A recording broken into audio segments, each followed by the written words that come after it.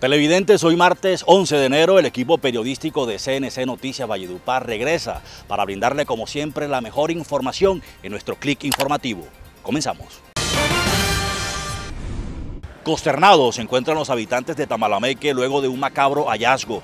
Una mujer identificada como Arelis Montesino Mozo de 47 años y que se encontraba desaparecida desde el pasado 7 de enero fue hallada muerta y enterrada en el patio de la vivienda de su yerno Edwin Rivera Maestre, quien fue capturado por la policía como principal sospechoso. Según las primeras versiones, la Oxisa no tenía buenas relaciones con el compañero sentimental de su hija, una menor de edad. Este hecho ocurrió en la vereda La Alianza, jurisdicción del corregimiento de Palestina. Que él es un presunto responsable por lo que haya en el cuerpo en el predio de la casa del señor que está sindicado por la familia y la comunidad. El ministro de Vivienda, Jonathan Malagón, y el gerente de Social, Carlos Alberto Daza, entregaron parque en la Comuna 3 de Valledupar. Yo vivía en un barrio aquí en Valledupar que se llama el barrio San Joaquín y no tenía una cancha tan maravillosa como la que tenemos ahorita. Aquí en este lugar, ubicado en el barrio obrero de Valledupar, se llevó a cabo la inauguración de la sede política de Didier López.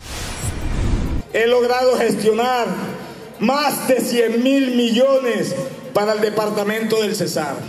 Y esto no es paja, lo pueden corroborar. Hoy se está ejecutando en el corregimiento de Saloa, después de 50 años, el alcantarillado. ¡Dale duro, Yalimar! ¡Dale duro! En medio de un hecho de intolerancia, una mujer de 20 años de nacionalidad venezolana identificada como Yelimar Portillo fue apuñalada en el tórax por otra fémina en una invasión cercana a la ciudadela Confacesar de Valledupar.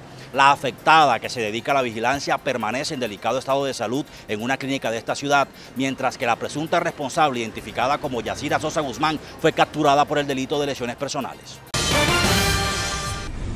Inició el 2022 y Valledupar sigue sin escombrera.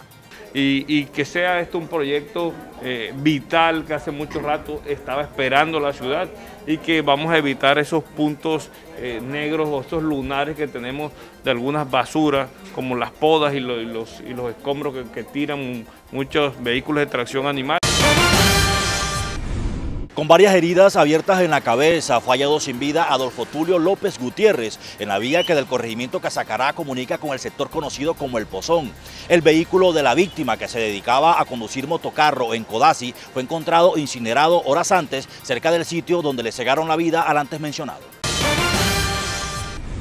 En la invasión Roca 3 de Codazzi fue ultimado a bala Carlos Alberto Mojica Sarmiento en hechos que son materia de investigación para las autoridades. Según el reporte policial, la víctima presentaba anotaciones como indiciado por el delito de hurto y daño en bien ajeno.